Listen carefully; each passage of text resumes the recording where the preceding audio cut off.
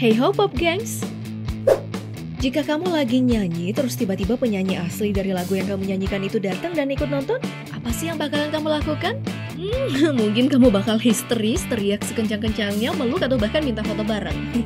nah, kayak yang satu ini nih, berikut pengamen yang didatangi sama penyanyi aslinya. Namun sebelum lanjut, silahkan klik subscribe dan tanda loncengnya dulu ya, support kami dan bersama kita berbagi info menarik dari Daftar Populer.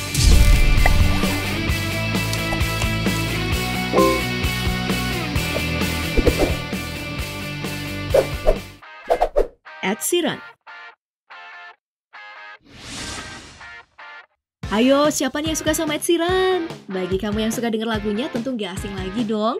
Yuk, Ed Sheeran ini merupakan seorang penyanyi sekaligus penulis lagu berkebangsaan Inggris. Tapi gimana ya Pop Gengs perasaan kamu pas lagi nyanyi lagunya Doi? Eh, tiba-tiba dia muncul. Kayak yang dirasain gadis berusia 13 tahun ini nih. Nah saat itu dia sedang berada di atas panggung mall menyanyikan salah satu karya lagu dari Ed Sheeran. Nah secara kebetulan si babang Ed Sheeran ini juga lagi berbelanja di mall untuk kebutuhan turnya di Kanada. Lalu saat Ed Sheeran mendengar gadis itu lagi nyanyi lagu Thinking Out Loud miliknya, Ed Sheeran pun langsung bergabung ke atas panggung dan nyanyi bersama. Gak cuma itu aja nih pop gengs, gadis tersebut juga berkesempatan buat meluk idolanya tersebut. Duh, bikin irih ya.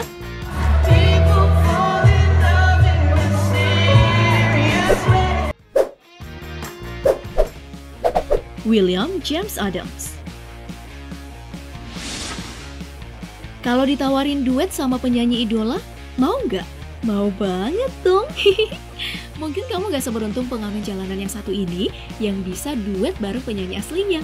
Dia ini adalah Levi, merupakan salah satu pengamen jalanan yang ganteng banget. Bisa dibilang sih lucky people ya. Pasalnya, saat sedang menyanyikan salah satu lagu dari The Black Eyed Peas, sebuah mobil Lamborghini berhenti di belakangnya. Dan ketika itu pula, pintu mobil terbuka. Ayo tebak siapa yang muncul? Ternyata William lah yang muncul dan dia merupakan juri dari The Voice UK sekaligus salah satu member dari grup musik Black Eyed Peas. Iya pasti langsung speechless dong ya. And finally mereka duet bersama. Orang-orang yang melihatnya pun sontak begitu histeris. Hmm, pasti kamu pengen juga kan Popkins? Come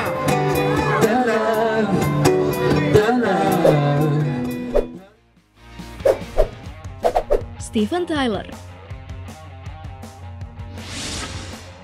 Membawakan lagu milik artis terkenal memang sudah jadi hal biasa bagi setiap orang, khususnya para musisi atau pengamen jalanan.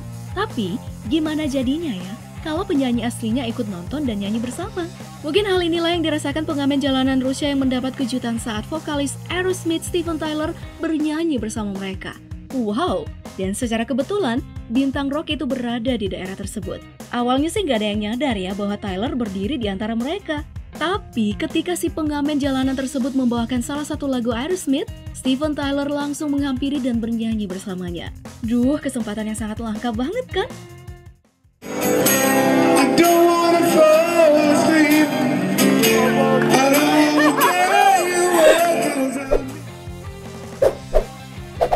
Lahila Band Pop Games, sebelum kamu nyanyi lihat-lihat dulu ya sekitar kamu. Jangan-jangan ada sang penyanyi asli yang ikut nimbrung juga. Yup, momen bersejarah dan gak bakal dilupakan oleh salah satu pengamen jalanan ini. Mereka gak sadar loh kalau ternyata mereka ditonton sama penyanyi aslinya. Sementara mereka lagi nyanyi nih Pop Gangs, mereka terhenti sejenak karena ngeliat penyanyi aslinya. Uh, penyanyi aslinya pun langsung muncul dari kerumunan penonton. Dia adalah Bang Ame yang merupakan vokalis dari band indie asal Bima NTB, Lahila Band. Gak mau buang-buang kesempatan dong, mereka akhirnya nyanyi bersama dan mendapat pelukan dari sang idola.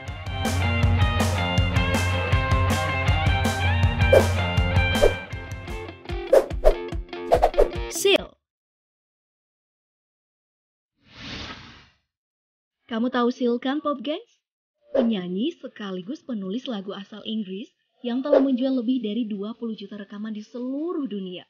Wow, gak nyangka banget kan? kalau tiba-tiba kamu disamperin sama dia. Seperti yang dialami sama penyanyi jalanan wanita yang satu ini. Sil yang kebetulan berada di Manchester dan menonton penampilan salah satu pengamen jalanan. Sil pun menghampirinya, di mana si pengamen jalanan tersebut gak sadar kalau yang menghampirinya itu adalah musisi terkenal. Aduh. Sila emang dikenal memiliki rasa empati yang tinggi, soalnya dia sering banget terlihat bernyanyi dengan musisi jalanan yang kelasnya jauh di bawahnya. Pengamen tersebut baru sadar saat Sil udah ngasih tahu namanya. Mereka pun akhirnya bernyanyi bersama. Gimana Pop Gengs? Semoga suatu hari pas kamu lagi nyanyi di mana pun, bisa juga ya didatengin sama penyanyi aslinya. Wah, bikin iri banget ya Pop Gengs. Kalau kamu sendiri pengen banget didatengin sama siapa nih? Komen ya. Terus jangan lupa like, share, dan subscribe-nya. Serta aktifkan lonceng notifikasimu.